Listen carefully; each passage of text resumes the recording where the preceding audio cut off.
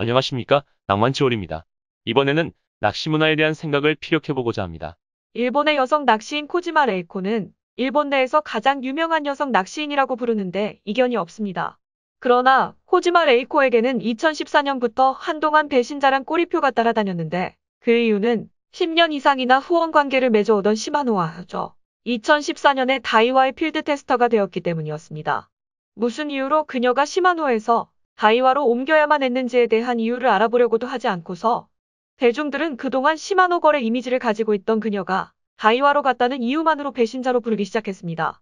코지마 레이코가 낚시와 인연을 맺게 된 동기는 연예계에서 활동을 하던 도중 1997년에 TV 도쿄에서 제작하던 낚시로망을 찾아서란 프로에 출연하게 되면서부터입니다. 낚시로망을 찾아서는 1989년에 첫 방송을 시작한 장수 프로그램으로서 그녀는 3년 동안 이 프로그램에 출연하면서 본격적으로 낚시에 빠지게 되었습니다. 그리고 2000년에 시마노사의 필드 테스터가 되면서 시마노 girl이란 이미지를 쌓게 되었는데 가장 큰 이유가 바로 시마노가 낚시로망을 찾아서란 프로그램의 제작을 후원하던 스폰서 업체였기 때문이었죠. 이처럼 자연스럽게 시마노와 인연을 맺고 관계를 이어왔던 코지마 레이코가 2014년에 다이와로 적을 옮긴 가장 큰 이유 또한 그녀가 새롭게 출연하기로 되었던 방송의 후원업체가 다이와였기 때문이었습니다. 중간에 무슨 일이 있었는지를 좀 더 자세히 살펴보면 시마노가 후원하던 TV 도쿄의 프로가 2010년에 폐지되면서 한동안 그녀는 고정 프로그램을 맡지 못하고 있던 차에 2014년부터 다이와가 후원하고 있던 TV 오사카에 더피싱에 출연하게 되면서 자연스럽게 시마노가 아닌 다이와를 후원업체로 선택하게 된 것이었습니다. 그래도 시마노가 후원하던 방송이 폐지된 후에도 3년 동안 관계를 유지했던 것으로 봐서는 코지마 레이코로서는 최선을 다한 것이었다고 보는 것이 옳을 것 같습니다. 그리고 다이와가 후원하는 방송에 출연하게 되면서 시마노의 후원을 받고 있던 그녀가 시마노 제품을 방송에서 전혀 쓸 수 없었던 것도 그녀에겐 큰 부담감으로 작용하였을 것이란 추론은 충분히 현실성이 있지 않을까요? 물론 더 깊은 속사정이 있을 수도 있겠지만 표면적으로 드러난 이유만으로는 결코 그녀를 배신자로 낙인 찍을 수는 없다는 생각이 듭니다. 그런데 이런 일은 우리나라에서도 빈번하게 벌어지고 있습니다.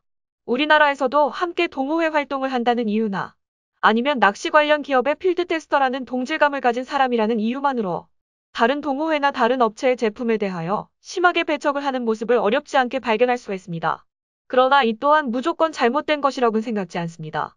삼성전자 매장에서 LG 제품이 좋다고 하면 좋아할 사람이 누가 있을까 생각하면 수긍이 가는 일임을 인정할 수는 있습니다. 그러나 그런 배척이 때로는 맹목적인 이유로 벌어지는 경우도 있다는 것은 심히 우려스러운 일이 아닐 수 없습니다. 게다가 이보다 더 염려스러운 일은 시대의 변화에 따른 현상이라고는 해도 낚시용품의 소비에 있어서 주변 사람들의 시선을 의식하는 밴드웨건 효과를 넘어 SNS의 발달과 함께 인기인이나 유명인들이 사용하는 제품과 같은 것을 사용하려는 수요가 발생하는 네트워크 효과가 만연해 있다는 점입니다.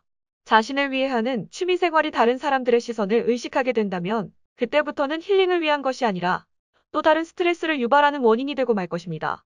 그리고 요즘은 취미생활로 만난 사람들과의 사이에서 뒤처지지 않으려고 하는 고립공포감도 여기저기서 쉽게 목격할 수 있는데 동질감으로 비롯된 사회생활의 관계가 공포감으로 변하게 되는 것은 집단의 생각과 조금이라도 다른 모습을 보일 때면 어김없이 겪게 되는 일이란 점이 가장 큰 문제라고 봅니다. 좋으면 왜 좋은지를 객관적으로 설명할 순 없다고 해도 최소한 좋다 나쁘다를 평가할 수 있는 능력을 기르기 위해 노력해야 하는 것이 마땅하거늘 그저 우리 것이 좋다 해서 출발하여 우리가 옳다로 귀결시켜 타사 제품이나 경쟁사의 제품은 맹목적으로 폄하하는 일들은 이젠 사라지기를 바래봅니다.